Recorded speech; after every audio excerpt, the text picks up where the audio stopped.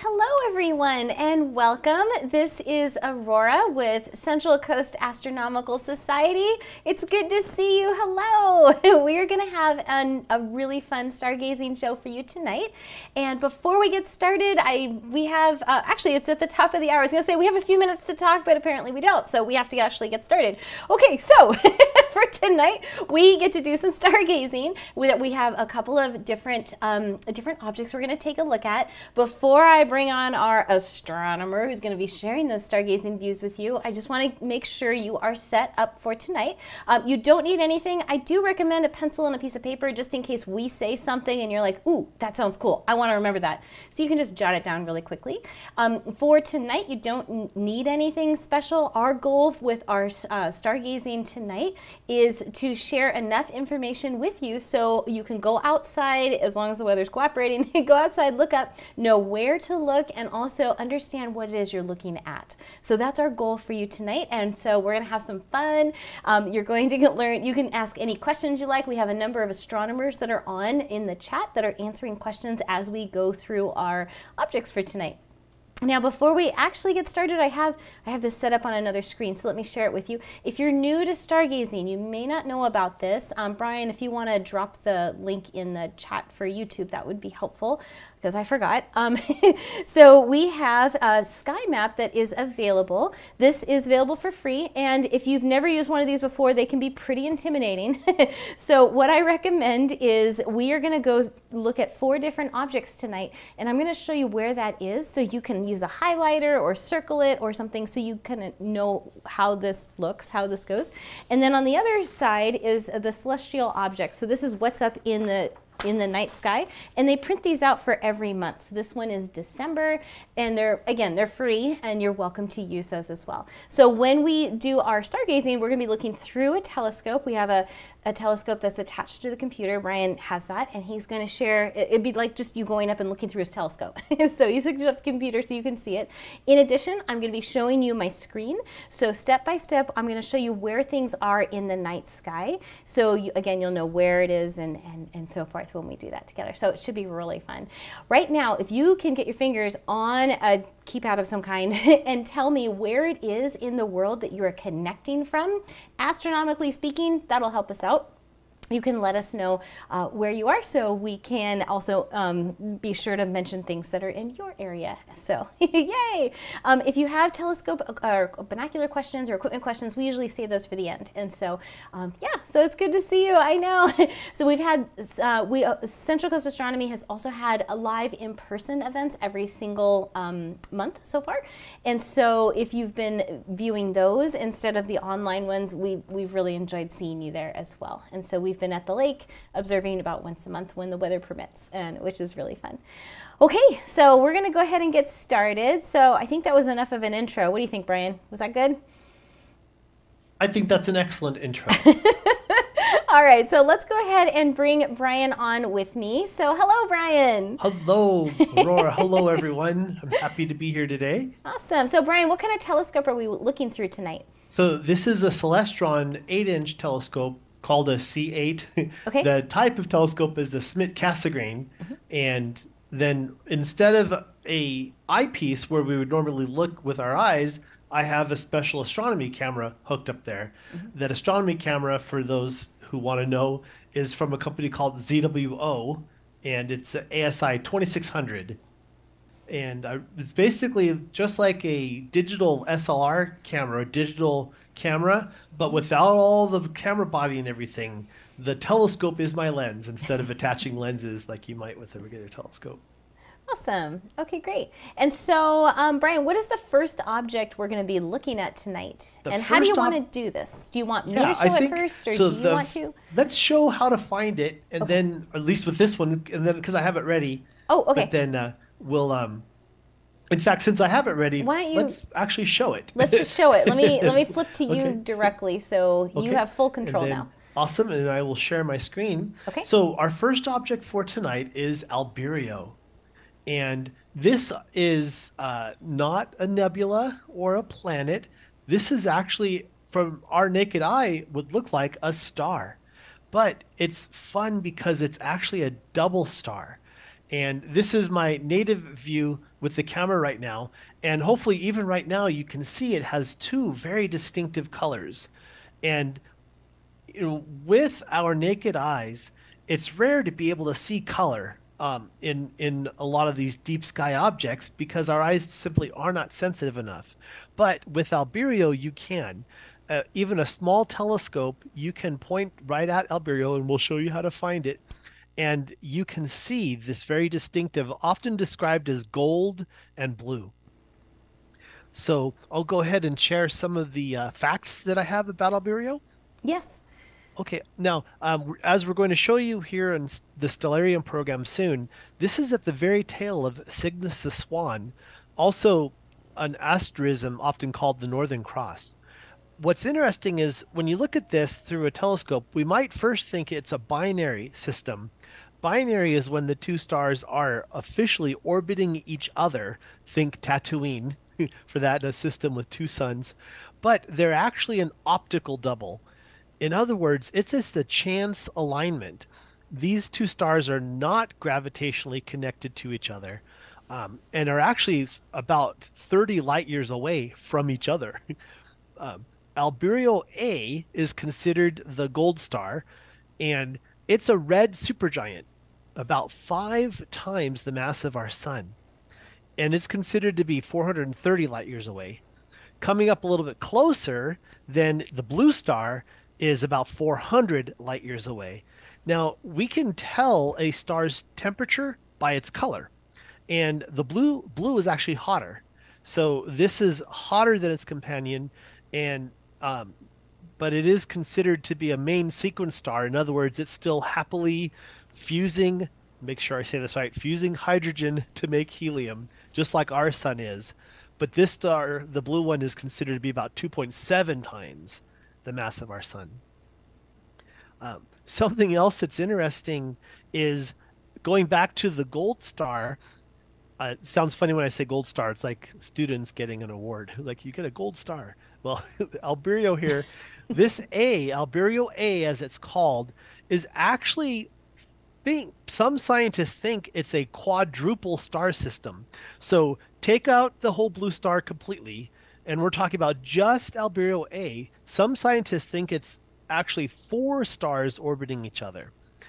And they've given them designations Albireo A, A, and then B, C, and D. the problem is no one can find what they considered B.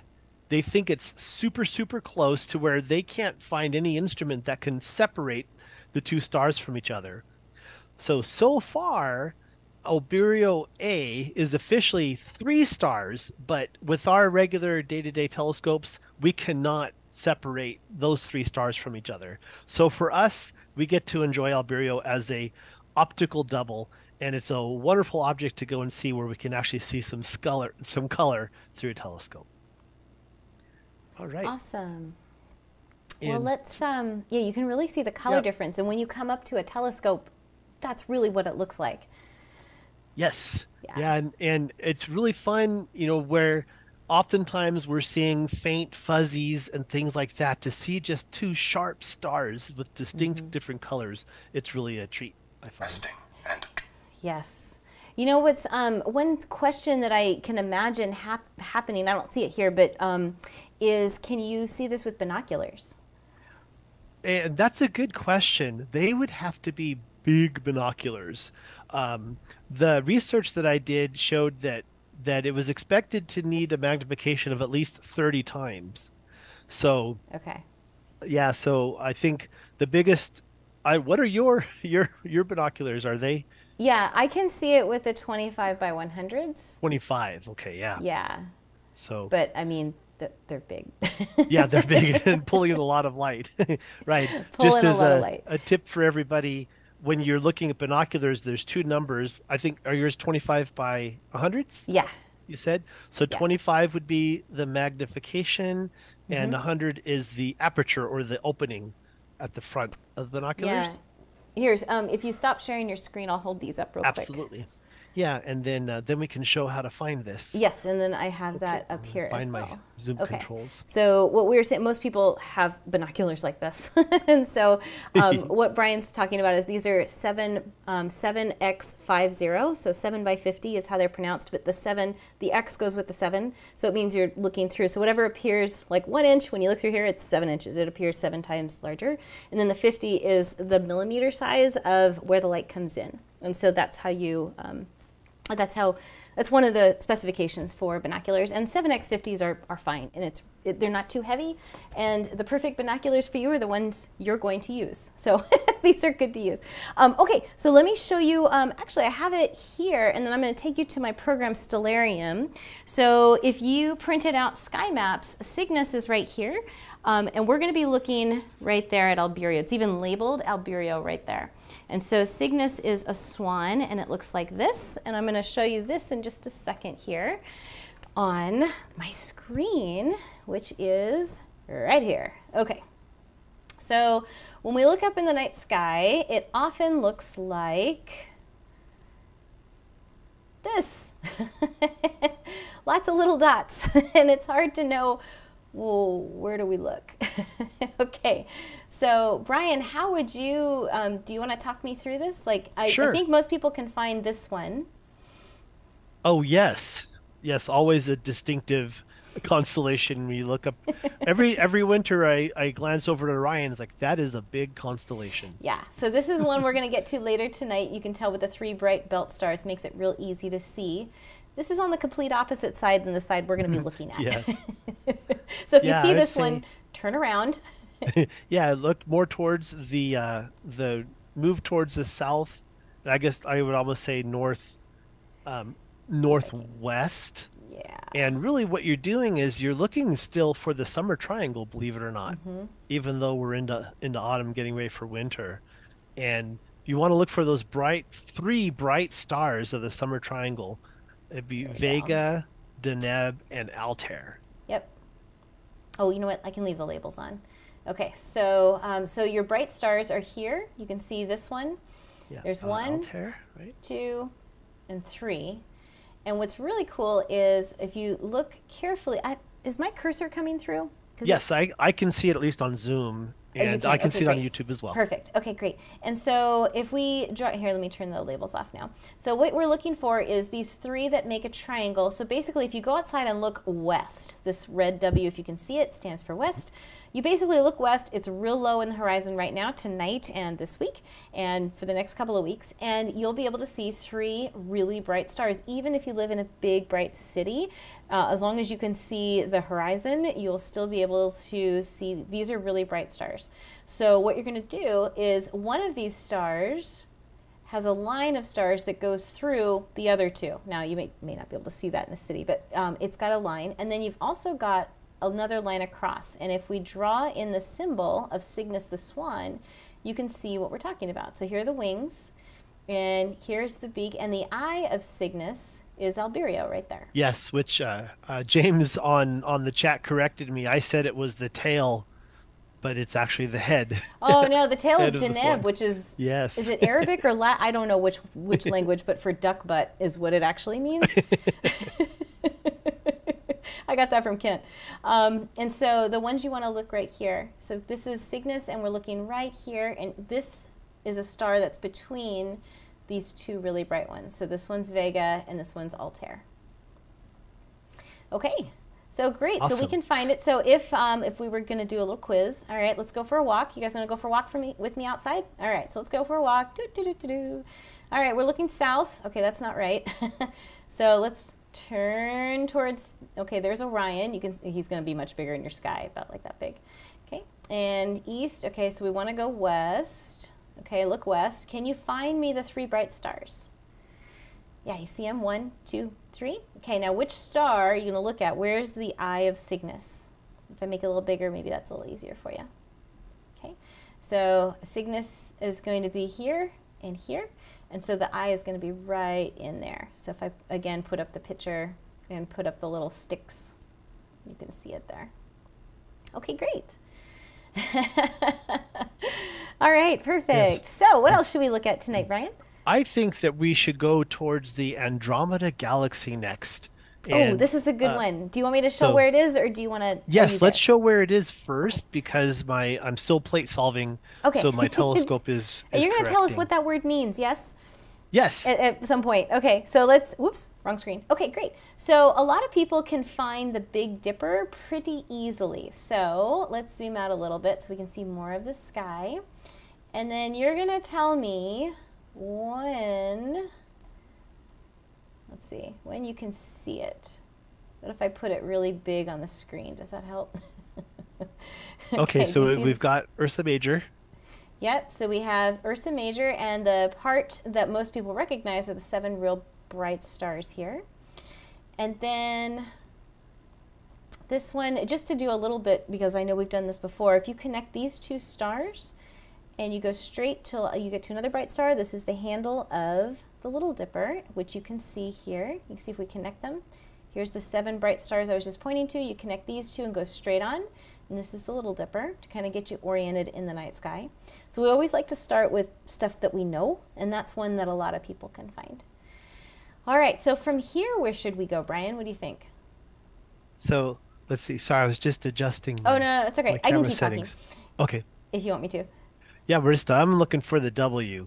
So it looks like so you have Horizon turned off. It's funny. So there's Hercules. Hercules is actually just about set here now. I'll put the Horizon back in. How's that? is that better? yeah. So I would head a little more uh, towards the the east. Okay. So Ruga right there. And these programs yep, so there we are. So we tricky. have Perseus. Yep, so there it is. Yeah. Cassiopeia. And okay. even though, of course, the Andromeda galaxies in Andromeda often start from Cassiopeia, and um, which would be looking, depending on the time of the year, either a three or a like a weird E. Yep.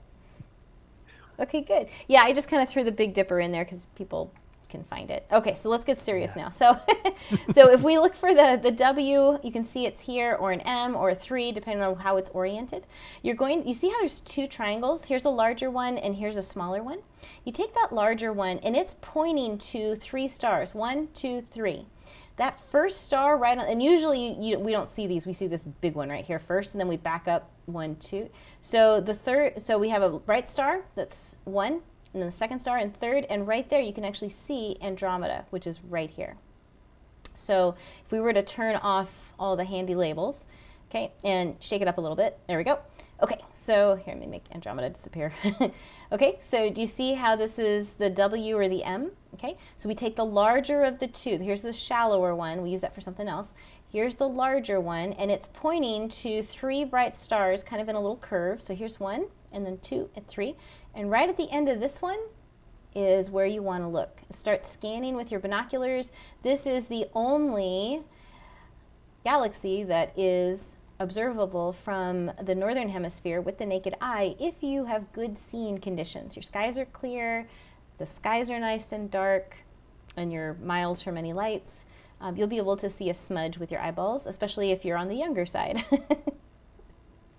All right, so Brian, I yes. shouldn't have showed this picture, huh?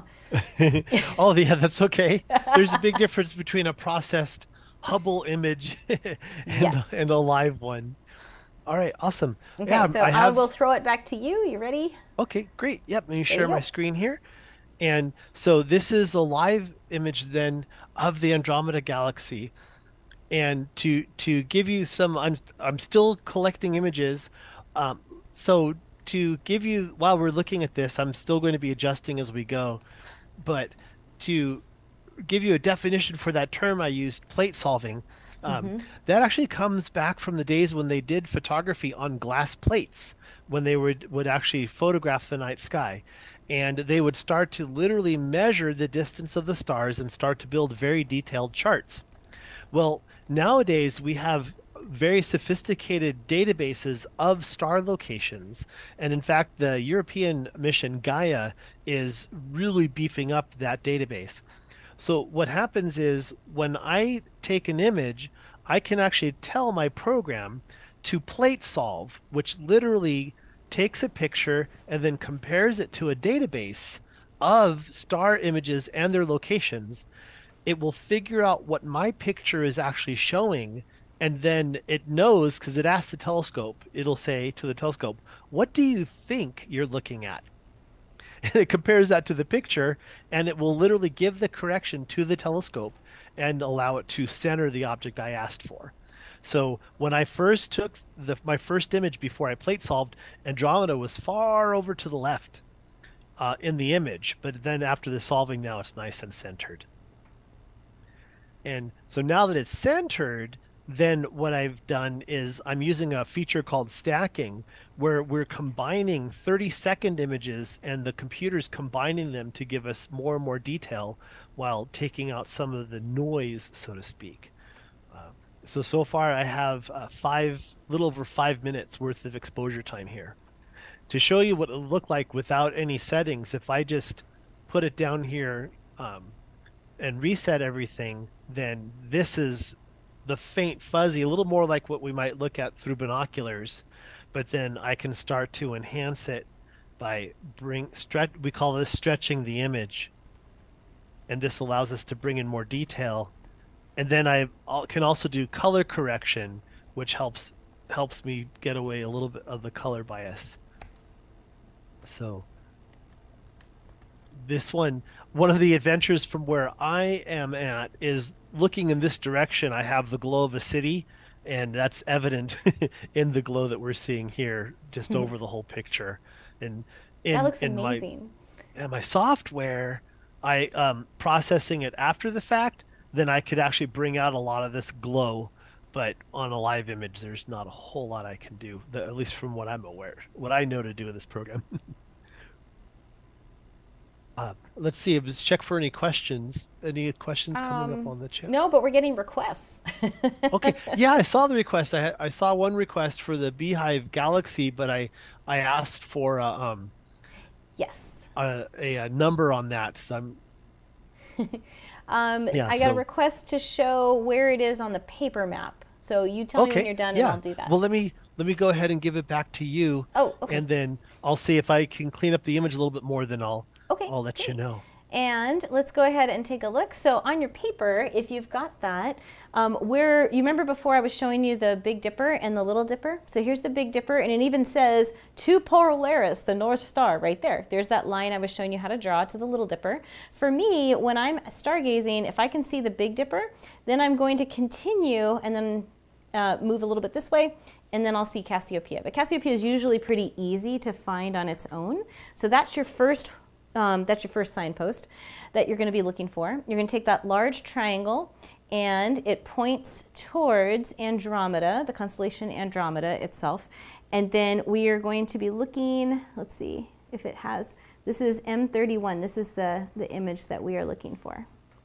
And so the galaxy we're looking for, which is right there. Okay, so find Cassiopeia and then just go straight to those three, one, two, three, and there they are. And that third star doesn't look like it's written on this star map, but you'll be able to see it. Okay, good. All right. Um, other questions that came in. Uh, we love your questions, so please, by all means, yes, um, pepper us with questions. We have lots of happy astronomers that love questions.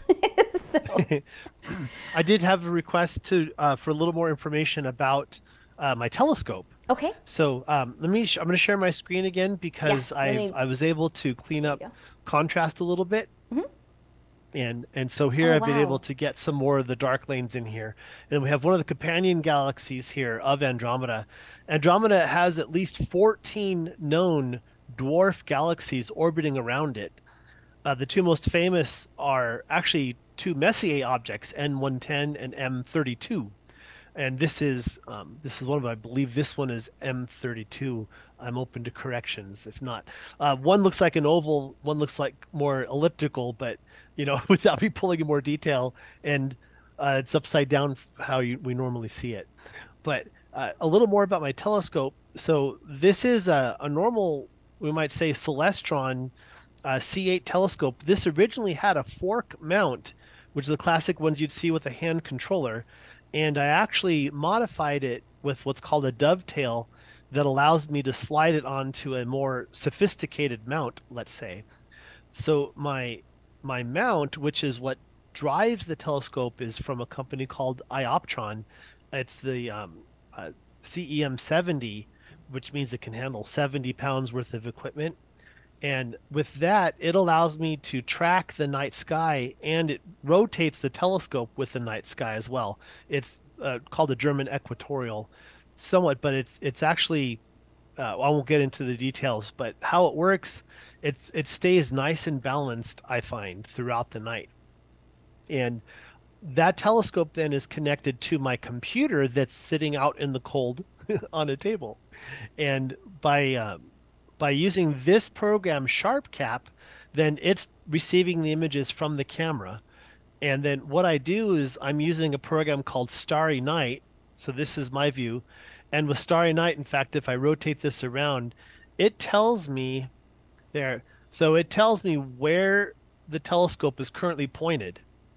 And I can go and plan out my other objects, and it will show the little red X moving across the map as the telescope moves. And so by between these two programs, that allows me to capture these images, and then I can go from from object to object. Awesome. Okay. Okay, great. So um, um, we did um, have we had a question about the distance for Andromeda. Yes. And and so Andromeda is about 2.5 million light years away. So the the light that we're seeing now left that that long ago. Um, something interesting. It was originally called the Great Andromeda Nebula. When uh, scientists first started to document these uh, objects in the night sky, they didn't have an understanding of separate, what we now might call island universes. They thought everything was in our own, let's say, galaxy in a local area. So any of the fuzzies they saw, they called nebula, and nebulae being the plural but uh, it was Hubble, amongst others, who did work to prove and show that this is actually a completely separate galaxy from our own. And so you'll still see some galaxies have the name Nebula in them because it's held on. Uh, but then uh, also, it's considered to have between 200 and 400 billion stars. And then, as I mentioned, there's at least 14 dwarf galaxies orbiting around it also. So let's see. I'm looking to see if we have any other questions. I think I think we're caught up. Have you seen any other questions? Um, no, I think I was checking the email. Sometimes people email okay. in questions. Yeah. Um, we'll handle the the email question. I see uh, we have some equipment questions that got emailed in. Okay. Okay. So, but yeah, let, us keep going. We have two more objects. Gotcha. Is that right? We do. Um, before we do that, I was thinking I could give my little presentation yes. on the Roman Space Telescope. Please. And so let me go ahead and, and set up my screen to be able to share that properly. Okay and then we'll go to do that. As a NASA Solar System ambassador, I like to be able to provide a, a presentation on a mission, and I, I try to pick missions that aren't necessarily in the news. So I decided I wasn't going to do anything with um, the Artemis mission. All the major news agencies have picked that up. Um, but Nancy Grace Roman is, is far enough away where I found it hasn't been covered a lot. Okay. There we go. So I've got my shares going here. And then I just need to find my Zoom controls. So let's talk about this. This we're going to talk about the Nancy Grace Roman Space Telescope. And this is a mission that's upcoming, so it has not launched yet. And what what happens often with NASA missions is they'll start out with an acronym and then they'll name the mission after a scientist or notable individual uh, as the mission progresses. So originally, this was called the Wide Field Infrared Survey Telescope, or WFIRST. But now it is named the Nancy Grace Roman Space Telescope. And here, with the picture on the right, you can actually see Nancy Grace Roman, and where she's in 1965, she's explaining the Advanced Orbiting Solar Observatory to astronaut Buzz Aldrin. So this is a picture of Nancy Grace Roman with Buzz Aldrin, and uh, she's she was actually the uh, she is uh, NASA's first chief astronomer who's a woman, and also known as the mother of Hubble. now on the left, then this would be the actual uh, concept drawing for the mission for the probe as it's designed and as they're actually building it now. Now, uh, in fact, let me advance my screens here. This is an image of the telescope in progress from 2019 one of the things that's interesting is is they actually tracked down an extra mirror that was originally intended to be a part of some spy satellite that never actually got made as i understand it this mirror that will be in the nancy grace roman telescope is actually the same size as hubble's at 2.4 meters and so imagine mine is right eight inches and so way less than a meter, of course. this is going to be 2.4 meters in diameter. But unlike the Hubble telescope, poor Hubble, which of course has been up, what, I think more than 30 years, this telescope will pack a 300 megapixel camera. So it's going to be able to take images 100 times greater than Hubble. So uh, lots of scientists very eager to get this mission up and in orbit this is a, a, a, basic diagram showing you the main pieces of this uh, mission. Now, it's scheduled to launch in uh, October 2026 between there and May 2027. So we still have a few years to go. They're actually still making it right now.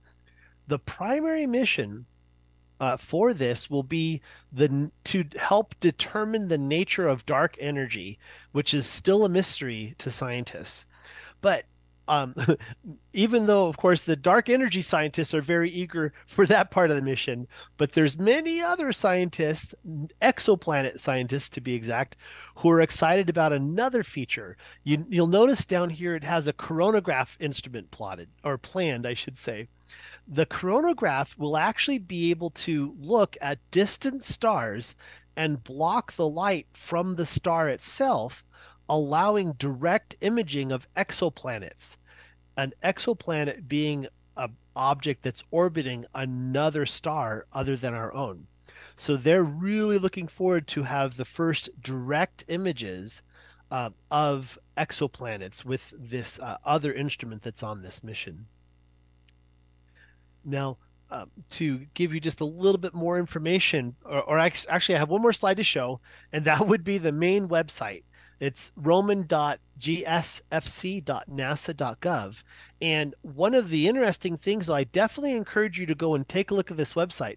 They actually have an interactive diagram that looks very similar to this, except you can zoom in and click on on different features of this mission and the probe itself of the telescope and learn more about all of its different capabilities. Um, we'll definitely be watching for this launch and for the first images that come from this mission as well. All right, so I'm going to go ahead and stop my share here. So that's what I had to say about the the Nancy, and often, by the way, often it's called the Roman Space Telescope for short. Mm-hmm. Mm-hmm. Uh, so uh, I see Jay Garcia asked on the chat, is the Roman telescope better than James Webb? Mm-hmm. And I would not call it better. I personally would say it's different. It has different mission parameters. It's different job. Uh, so um, you know, with with the James Webb telescope, its job is to see, as I understand it, into the deep infrared. Um, this instrument is designed to have a very wide field as its primary instrument, but then also have the coronagraph. So they're they're very different telescopes, but both of these are better than Hubble if we're if we're frank. But even of course Hubble though sees into the visible where uh, James Webb can't. So with a lot of these missions, they designed them to overlap a little bit, but then bring in new capabilities not to mention the new technologies that they bring to bear being decades later in, in life. Um, and let's see. Oh, are there, um, do we have a telescope club in Central California? yes, we do. That would We're be Central it. Coast Astronomical or Central Coast Astronomy. Yes, that's us. yep, you can stargaze with us live and uh, like this, and also in person. so you can go to centralcoastastronomy.org. Okay, Brian, thank you so so much. It's neat yes. to hear about these space missions because there's oh, so many. Welcome. I think there's one or two new ones between now and like 2050. Yes, and and of course they're still working on new missions. What's going to happen as well, not only with James Webb, but then once the, once the Roman Space Telescope is up, then they'll make a discovery. Textbooks get rewritten, and then they get thinking, you know what we really need is a mission that does this. Yes. And then then they get started. so what happens is, uh, just so everyone is aware, um, every 10 years they have what's called a decadal survey for a decade survey and that's where they assess what do we know what do we need to know mm-hmm. and they take for instance the scientists take input from all over the world so that they can decide where limited resources will be applied yeah and I, I shared um, a link for the Nancy uh, Grace Roman. You can just click on that, and it's got oh, all perfect. the details yes, about it, launch dates, what it looks like, what what instrumentation. So you can go look at that as well. Yes, uh, and the the planned launch is between uh, 2026 and 2027, and yeah. and uh, if Plus we could say some things about planned launches and delays, James Webb. so that's we, we, we won't mention that at all. right, not at all. No. Um, I'd like to share my screen one more time. Yes, please. I've got some much better contrast okay. before I move my telescope with uh, M31. Oh, okay, great. So, so, if you've just, I know some people just jumped on. This is uh, the Andromeda Galaxy we are looking at. It's a naked eye object. Yes. Keep going. and so, right. And so, this being the Andromeda Galaxy, we're really being able to pull in a lot of these darker lanes of dust. Um, it's Andromeda Galaxy is, is a wonderful telescope object, but as as you say said, Aurora, in a dark location, this is a naked eye object. Yeah. And I believe it has the distinction as the naked eye object that is furthest away from us. Is that does yes, that sound right? I believe that's yeah. true. Okay. All right. Well, up next, let's do the Crab Nebula. Awesome. Uh, would you like to show where that is found? I can do that. I well, to give you a minute to get your telescope. People are wondering how you're controlling it because they see you indoors. Yes. So I have a small telescope sitting, or a small telescope, the, a small computer connected to my telescope on a table in my backyard here in, in Oak Hills, California. Mm-hmm. And I am then remote controlled into that. So the screen that I'm sharing is actually technically the screen in my other computer. So awesome. by doing that, I'm able to operate that telescope and change where it goes and then with the plate solving that allows the computer to compare the picture it'll even make the corrections without me having to eyeball it and make adjustments uh, yes. although if, if i do share my my screen uh, just oh. to give sure. a thorough answer to that question over on the right of this program sharpcap um, then I, i'm actually resetting my settings here this little area right here are my telescope controls.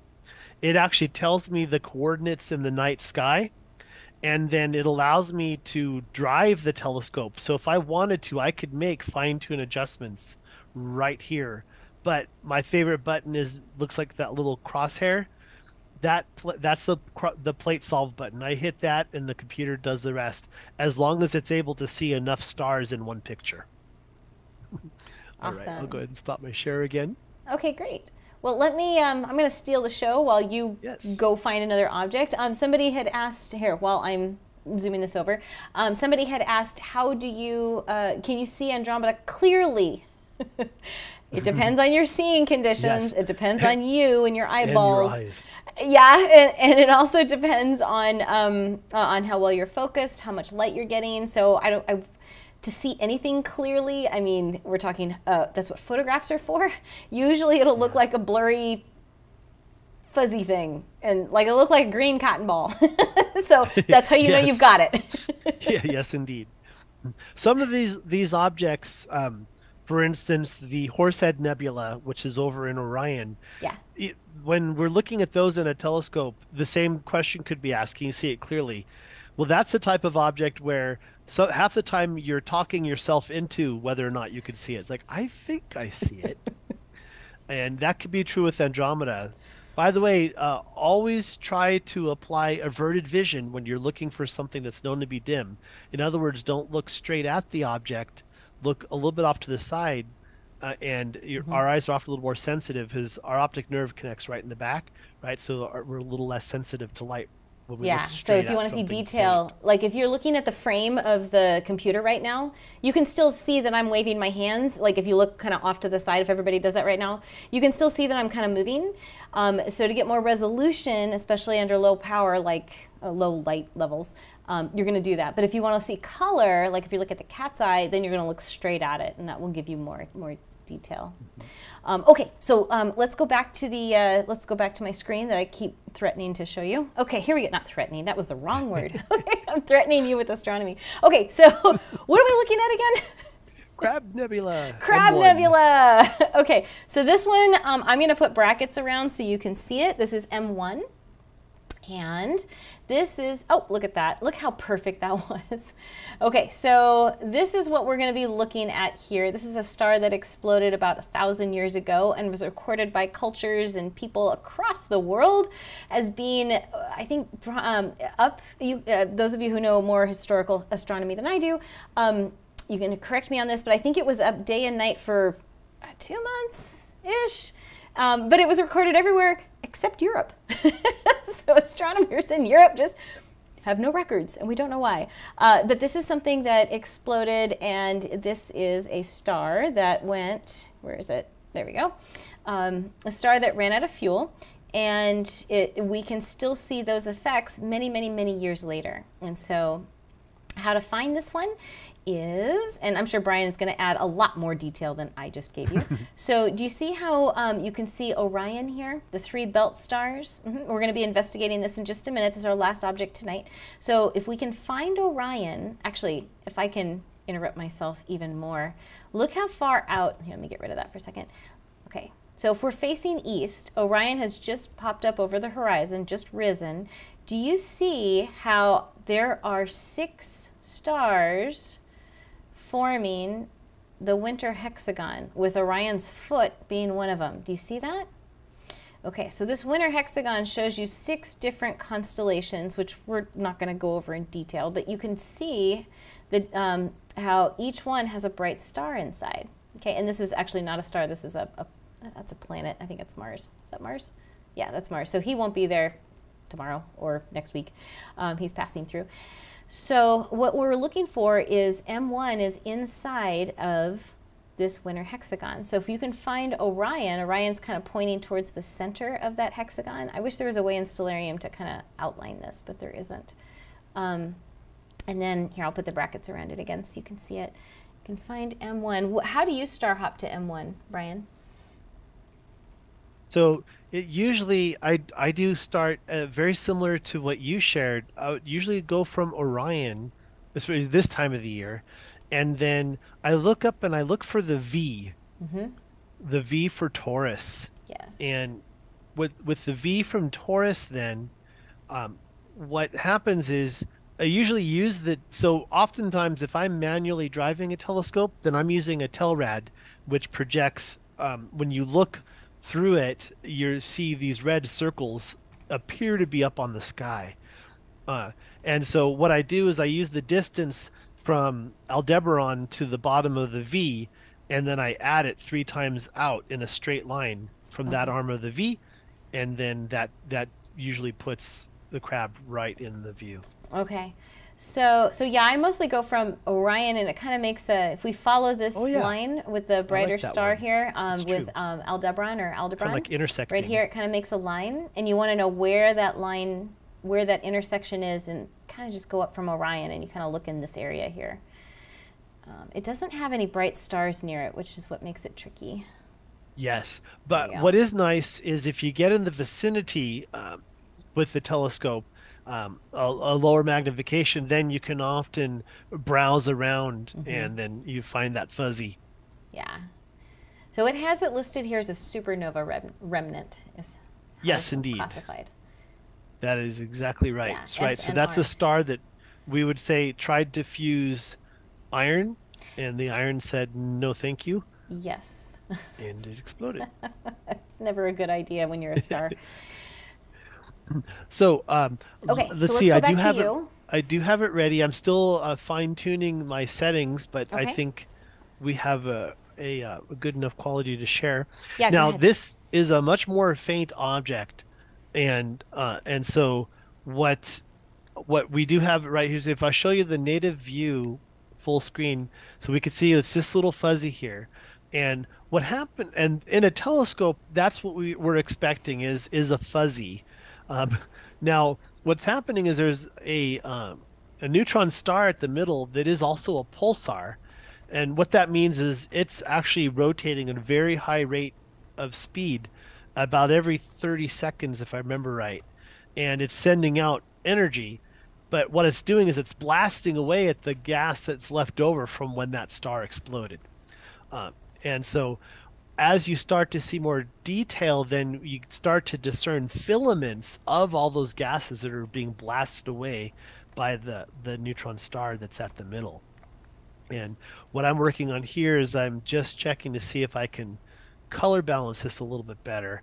So this is the image without stretching anything, and you notice there's very little detail.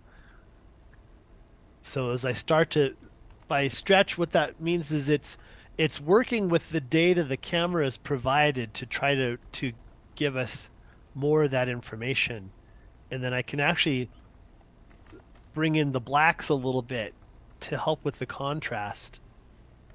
Now it's green because uh, cameras are biased towards green. In other words, they're they're actually more sensitive in the green area of light, but we can balance that. In post production, we we do a lot of color correction, but I have some basic color correction here. So now I've applied that, and we're actually being able to make out some of these red filaments. Um, in in images that you'll see processed, the Crab Nebula is very red, a lot of height, which is often hydrogen.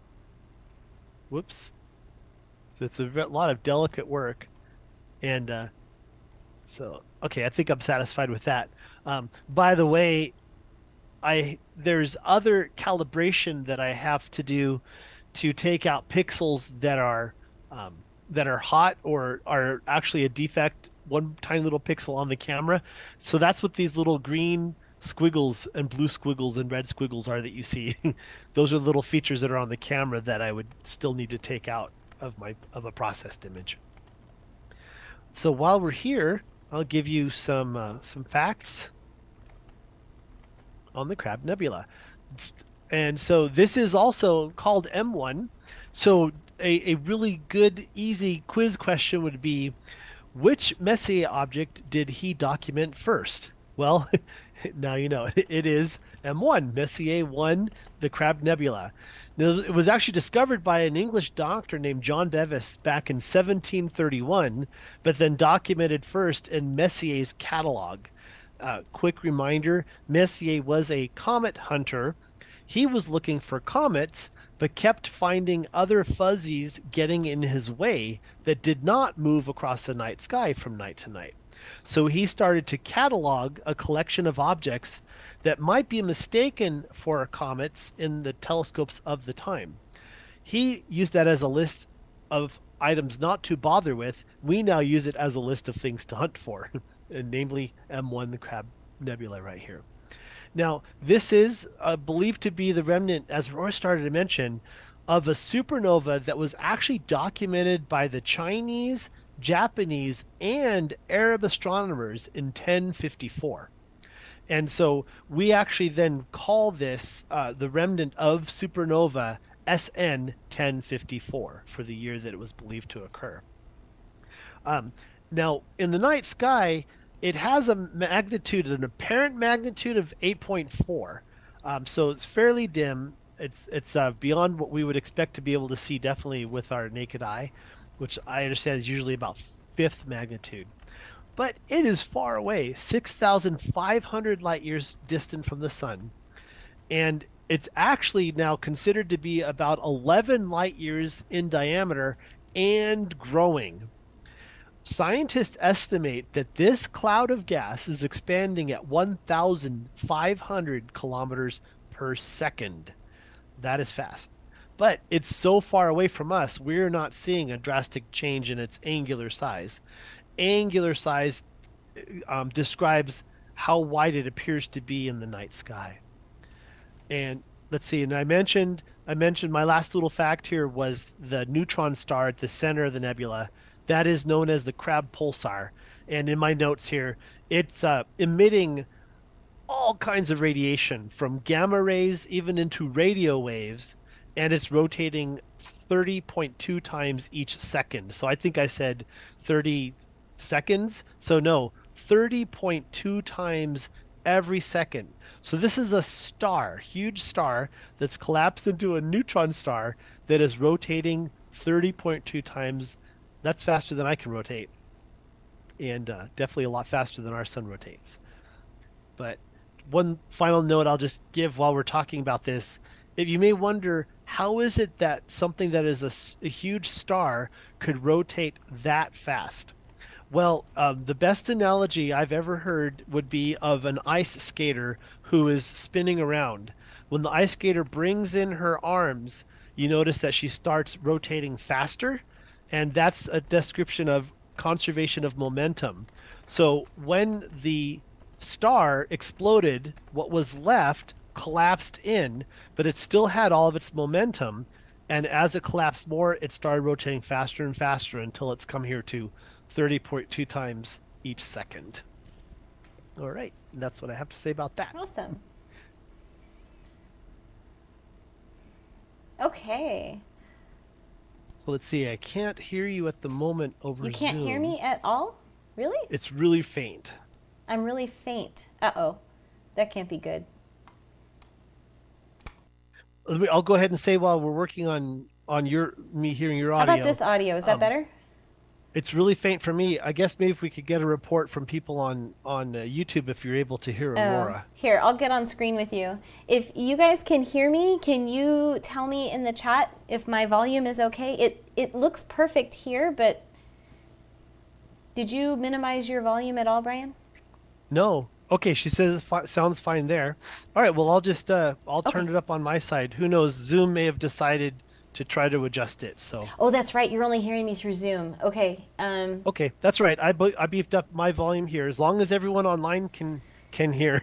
Yeah. then, okay, we're getting we're yes. I'm perfect. Do you hear that? Look okay, at that. Good. Look at people are saying I'm perfect.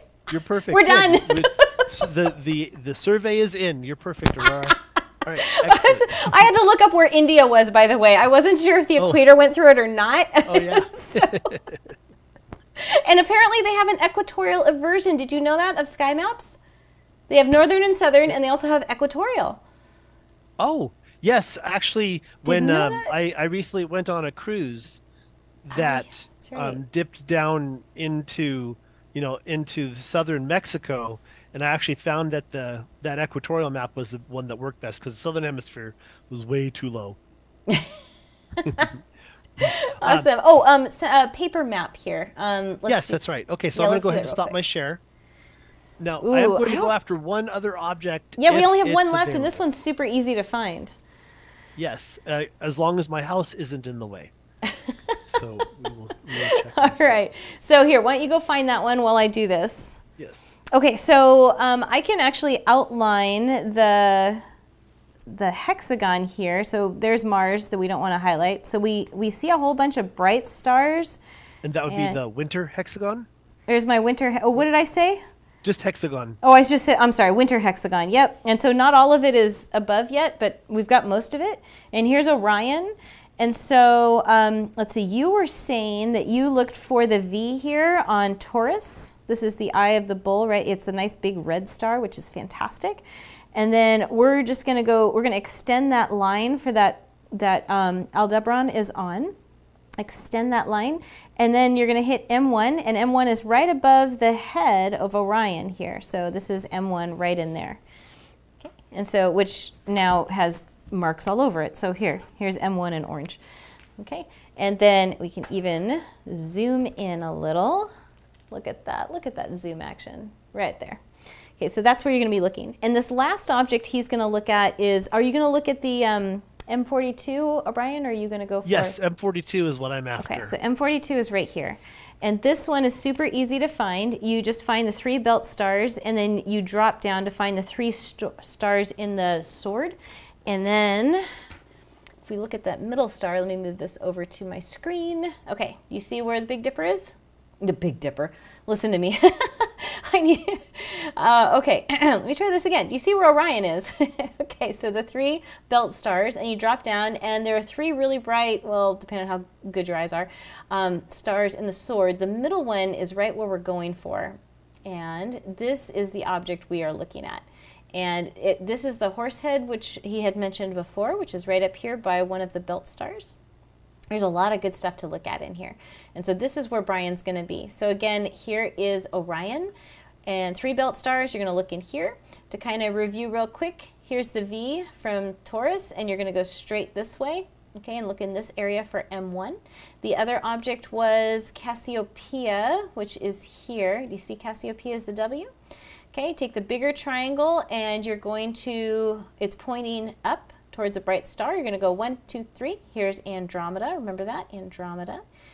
And I, I, think we went over the other one a couple of times, so that should be good. All right, Brian, you ready to take it away? Are you, or should I keep talking? I've, I've centered my telescope. It is available, uh, okay. and so I'm just capturing my first uh, 30 second image. Oh, okay.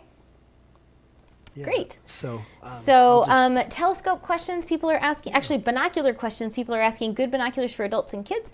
Um, but uh, so this is email questions. So I like these because they're thirty dollars, and I'm not going to freak out if my kids drop them. so um, these are Celestron Cometrons. Fantastic. Um, I'd like to have kids look at the moon first. Obviously, not the sun. Never look at the sun through anything with lenses. That's usually the, the stand, standing rule. Um, but look at the moon. It's amazing. During the day, you can look at um, things like uh, trees and so forth, um, and you'll learn how you look. So for me, I always aim them a little too low. So this is good information. So when I look, I usually just have to bump it up a little bit, and then I know I'm, uh, um, I'm on. And so those are great. Um, my favorite for binoculars for grown-ups, I haven't used a lot of them. My two favorites are um, the 7 by 100s. I'm sorry, this, no, no, the 10 by 50s. I'm sorry. The 10 by 50s uh, by Orion called uh, Ultra Views. And then my giant binoculars, which is made by Oberwerk, are 25 by 100s.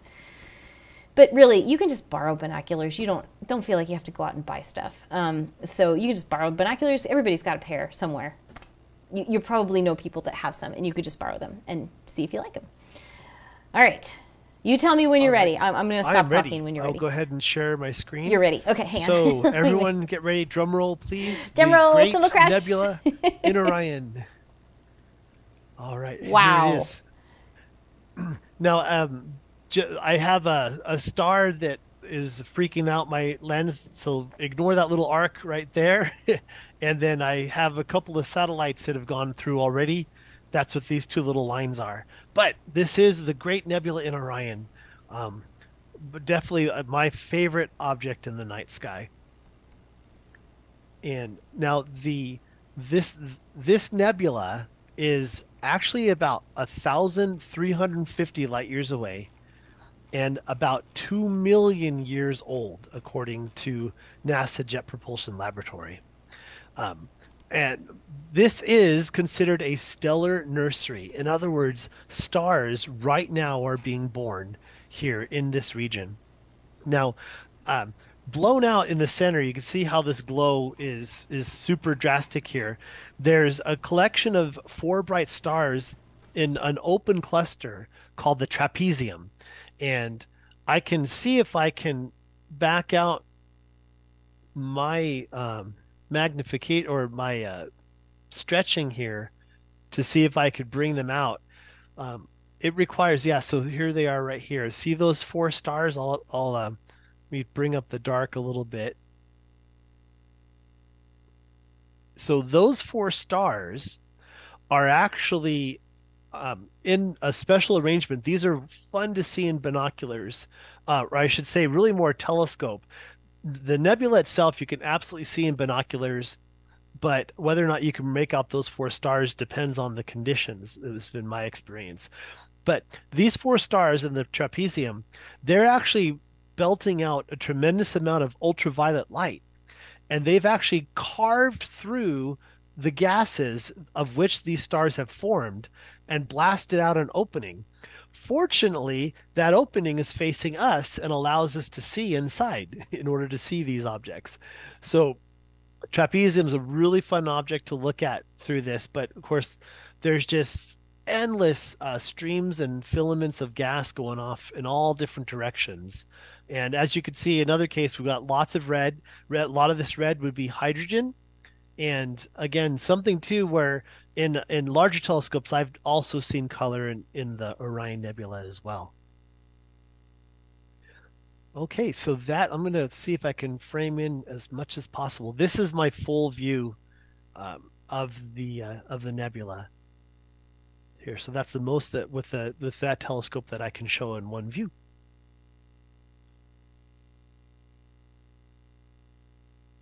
Any other questions coming in at all? A couple more email questions. Um, okay, great. Well, look at that. It's actually right here at the hour mark. It is. Not too bad. we did right. it. We made it through the whole thing. yes. All right. I'll go ahead and stop my share. And I'm glad it's a perfect amount of time. Uh, Orion just cleared my house. so we were able to get a nice picture of that. Yay! With, well, thank you so much. Brian. Um, we oh, have a couple pleasure. of quick, quick questions. Um, people were asking.